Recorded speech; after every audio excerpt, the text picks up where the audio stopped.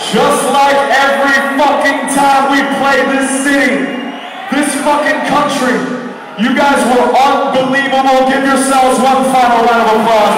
Thank you so much, Mr. Australia. We have one song left for you tonight, man. That is it.